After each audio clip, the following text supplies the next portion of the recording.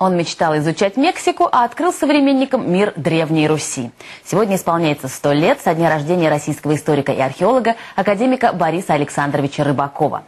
Его спорные, на первый взгляд, идеи совершили настоящий переворот в науке, заставляя по-новому взглянуть на, казалось бы, хорошо изученные страницы отечественной истории. Сегодня имя Рыбакова ставят в один ряд с Карамзиным, Соловьем, Ключевским, рассказывает Лидия Вахонина.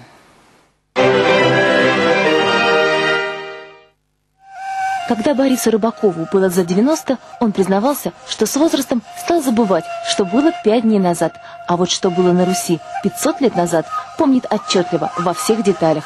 Древние тексты и летописи знал наизусть и с любой строки мог их цитировать. Он мог рассказать э, буквально, э, у какого князя бородавка была на носу. Это все, как будто он это все видел. Коллеги называли Рыбакова мастером гипотезы. Его научные предположения были смелы, масштабны и хорошо аргументированы.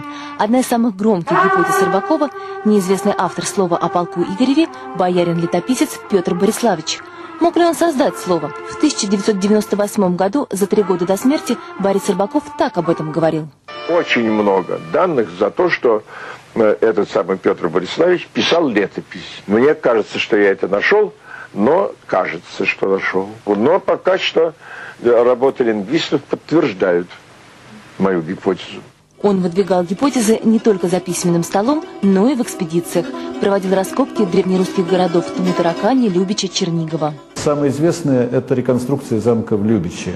Вот к северу от Киева, километров 100, там есть над Днепром высокий такой холм, гора. И на этой горе когда-то стоял огромный княжеский замок принадлежавший Владимиру Мономаху. И вот Рыбаков раскопал остатки этого замка. Его научные труды начинались с амбарной книги. Так Рыбаков называл рукопись, в которой он записывал свои мысли и исследования. Порой историк и сам не знал, чем его рукопись закончится. Конечно, основу он все знал. И довольно далеко все это поле было вспахано уже. Но он начинал писать, и возникали новые сюжеты, новые открытия. Одна из его главных книг, которую знает почти каждый археолог, «Ремесло Древней Руси». Рыбаков первым доказал, что древнерусские города были крупными центрами ремесленного производства. Эта книга на долгие годы задала, так сказать, направление исследований десяткам археологов, которые занялись э, различными ремесленными производствами, кузнечным, ювелирным, гончарным. Может, и не все исторические концепции Бориса Рыбакова истинны на сто процентов. С ними можно соглашаться, можно спорить, как это делали Дмитрий Лихачев и Лев Гумилев, но его гипотезы сложно опровергнуть. Они серьезны, убедительны и останутся в науке. Лидия Вахонина, Денис Крысенков, Валерий Жигли, Олег Левитин, служба информации телеканала «Культура».